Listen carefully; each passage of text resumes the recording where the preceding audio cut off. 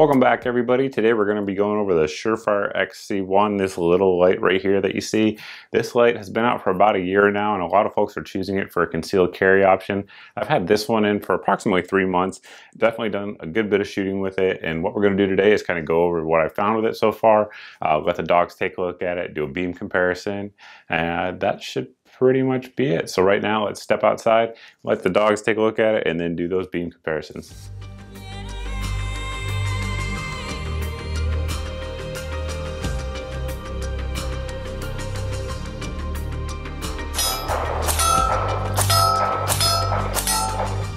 Here you see the beam outside, so you can see it's a very balanced beam overall. Uh, good spill, but also has good illumination there. My dog's approximately maybe 30 feet away in this picture, and you can see he's illuminated just fine. So how does it compare to like the big boy 500 lumen output uh, Streamlight 300? So there you can see much, much brighter hotspot and the spill's still pretty bright as well, but the hotspot really is the big difference. You're not going to get a lot of throw out of the XC1. As you can see here, again, we're back to the XC1. Um, and then, again, the Surefire X300. Again, we're looking at the X300, good wide beam, and then we're going to roll in the uh, Inforce APL. Hopefully my camera will focus. You can see this one here has got a little bit of a sort of a whiter tint and does have a hot spot here, which will focus on the dog. Still has a good spill, but a much more defined edge to it. Um, so definitely going to have more sort of throw, less spill. And again, here's the Surefire. Um, very good balanced beam output overall. So you saw the beam pattern out there and no doubt about it, it does have a wide flood and it's designed sort of as a close quarters light. Um, Surefire calls it the max vision beam, i.e. illuminating a wide area, giving you good situational awareness. Um, I took it out there and did shoot at night. Unfortunately, I lost the footage somewhere on a hard drive, but I was able to shoot and identify targets out at 50 yards. And uh, beyond that, it was really tough. Uh, it really started to get hard. And I mean, certainly if you knew that there was a threat and someone was shooting at you, sure, you could identify them. Um, but 75 was tough. 100 was pretty much impossible. So that was on a real dark, sort of cold and crisp night for what it's worth. But uh, within 50 meters, that's obviously where most of your shooting engagements are going to happen, really most within 25 meters and even 10 meters. So for that, it's going to do a perfect job as you guys just saw. So some basic specs of it is that it does have a 200 lumen uh, output and it's rated for 1.5 hours now. I tested this flight a good bit and what I found was after about an hour of being on it starts to dim. Now, one advantage of running on that um, AAA battery, which I guess we'll show you right here, uh, there's your battery compartment right up front. Uh, one advantage of not using, you know, sort of like a rechargeable, um, you know, lithium ion battery or something like that, is that you do notice it actually getting dim because it's just a standard AAA. So the battery will start to drain and the output will go down. So you do get an indicator that it is uh, going down. I should also note there it's aluminum there on the battery cover and it is uh, gasket sealed in there so to prevent water or anything like that from getting in there. But yeah, so after about an hour of use, you're probably going to want to go ahead and replace it when you start seeing it dim a little bit. The body of the light is made out of an anodized aluminum. You can see it has a nice finish all the way around. The scratches on there are just ones that I've put on there.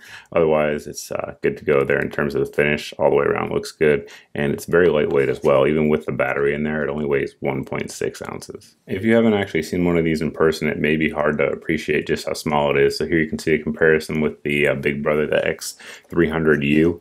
And it's also fatter as well as longer. Heavier takes two CR123 batteries. Of course, this is definitely going to give you more output, but it's much larger as well. So uh, another popular light out there, of course, is going to be the Streamlight TLR1. You can see again a much larger light overall. Um, just to kind of show you the profile of it as well. It's much shorter, and of course, it's going to be fatter as well because this also takes two CR123s. The light that's probably most comparable to the XC1 in terms of size anyway is going to be the Inforce APL that you see here. Of course, the XC1 is still much smaller, uh, both in terms of overall profile width here as well. And then, of course, if you look at how it was mounted on the gun, it's going to be smaller as well there. Speaking of mounting it on a gun, we'll show you how to mount it up here. We have a Glock 19, which is probably going to be the most common gun for this one in terms of carrying it. And you have this little screw here on the side, and you just back it out, comes loose in there, and we're just going to slide it in.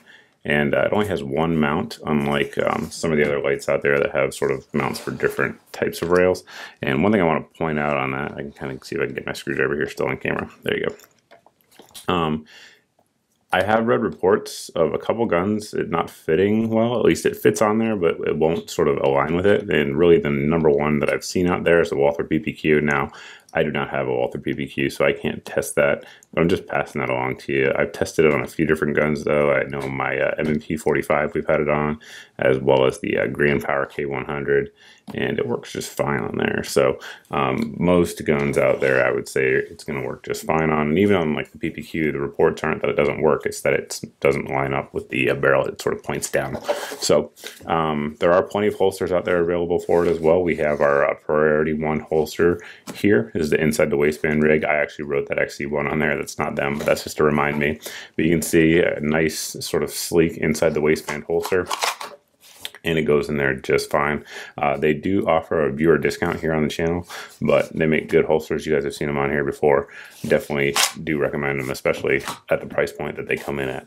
Operating the light is pretty straightforward. We have basically two controls, our constant on right here, and then our momentary on on each side of the pistol. Now, uh, for right-handed shooters, of course, you're going to be activating it with your left thumb here. So you're just going to push down slightly on it, and you'll see the light comes on. Of course, for right-handed shooters as well, you could also use it with your index finger. However, I certainly don't recommend that. And for you lefties out there, uh, you'll have no problem because the activation is exactly the same for the momentary. However, uh, one problem or one issue that you may see with it is that the constant on um, is sort of right-hand friendly, meaning that you can push it across and you're just going to push that bar straight across and it will stay on for constant on. And to deactivate it, you push it across again. Now, one thing I sort of don't like about that is that it's not exactly tactile. Um, of course, visually you can see the light when it's constant on, but uh, it doesn't like click into place or anything like that. And even with the momentary, you feel a, a good click and you know it's on. But for some reason, at least on mine, example of one anyway, it's not as tactile as I'd like it to be.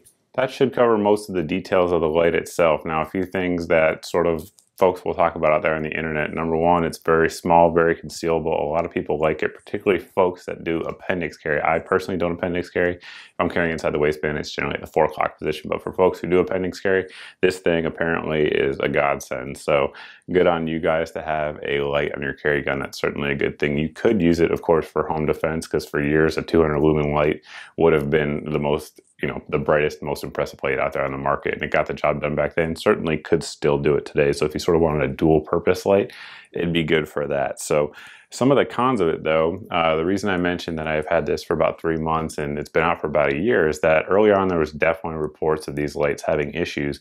Now that's relatively rare for surefire. They tend to be a surefire solution if you will zing. But um, no, in all seriousness, they have a really good reputation for durability and their products just working and being hassle free. However, this light definitely, like we said, had some hiccups when it came out. And one thing that people reported a lot was that after a while, uh, like if you left it stored or in a carry configuration that the toggles just wouldn't come on.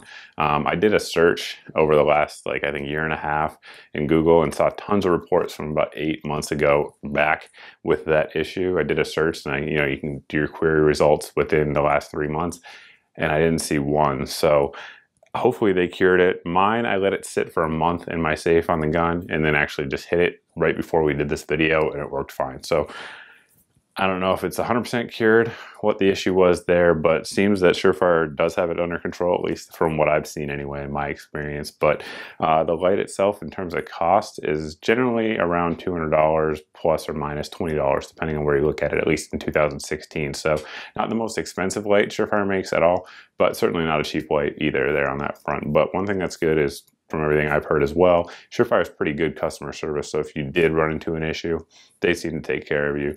Um, we'll put a link, of course, to this light down below in the video description for folks who want to check it out. But if you guys have any comments or questions or anything like that, you can always post down below in the comment section. You can also post over at my Facebook page as always. But thanks for watching, guys. Thanks for subscribing. If you haven't subscribed yet, please go ahead and do so. And we'll hope to see you in the next video.